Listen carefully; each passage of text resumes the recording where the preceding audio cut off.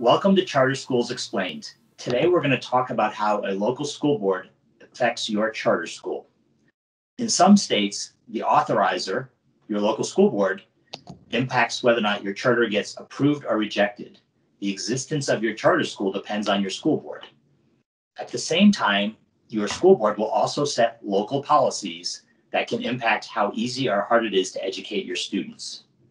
Even in a small but growing number of states, local school boards are responsible for whether or not you get access to local facilities funds.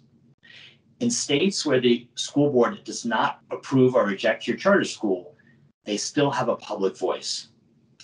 That public opinion can impact whether local groups want to work with you, and it definitely impacts what local politicians think of your school. A number of years ago, I was a school board member and a charter school founder of a school in my district.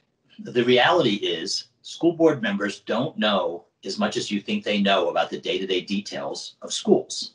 You can help them advocate for your school or at least understand your school if you make the consistent effort to talk to them about what's good and what's going on in your school. You vote for the school board. Expect them to care about all students, including those in the charter school. Make sure they learn from you about what a great school it is. You have more influence than you think.